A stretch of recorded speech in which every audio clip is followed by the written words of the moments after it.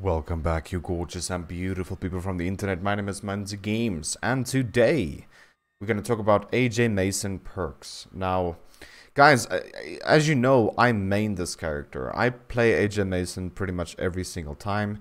The reason being is because of her set, um, her set skills. Like everything she has is just, in my opinion, as perfect it, it, it can be. Like stealth is 10, which is a little bit overkill, but Everything else, composure, repair, everything else is actually perfect.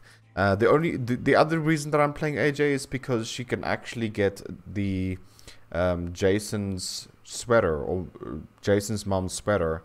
It's really really good. Um, but talking today about perks, this is what the character is all about in my opinion.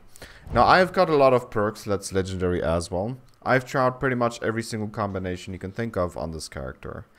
The best perks that we can get, in my opinion, is a marathon. I don't know why I don't have it equipped. I think I tried out a different one climbing through windows because it has a stumble stumble chance decreased. But the best ones is marathon, it is nerves of steel, and thick skinned.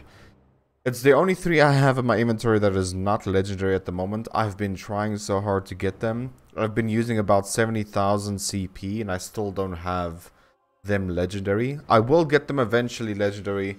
It's just going to take a little bit of time. But that is, in my opinion, the three best perks in, that you can get for AJ Mason. That is Marathon, uh, Nerves of Steel, and Thick Skinned. If you guys have any questions, please let me know in the comments below. I'll definitely check um, them out as soon as I can. But with that being said, guys, thank you so much for watching. If you did enjoy, please remember to leave a like, subscribe if you're new to the channel. Hit that bell button to get notified every time I upload a video or check out my Twitch if you want to see some live streams.